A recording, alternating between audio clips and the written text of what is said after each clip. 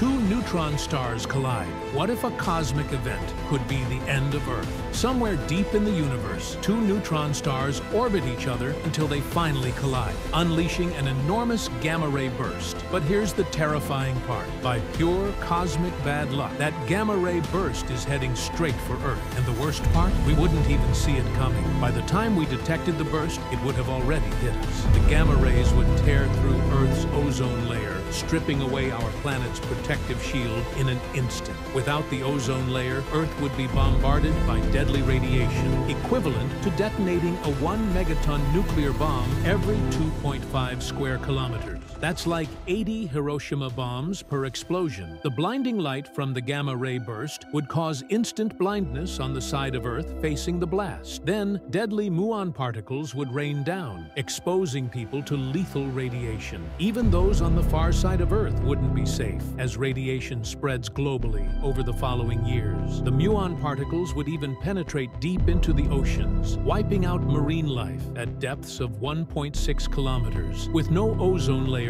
Earth would be bombarded by solar winds, stripping away the atmosphere. Our planet would quickly turn into a radioactive wasteland.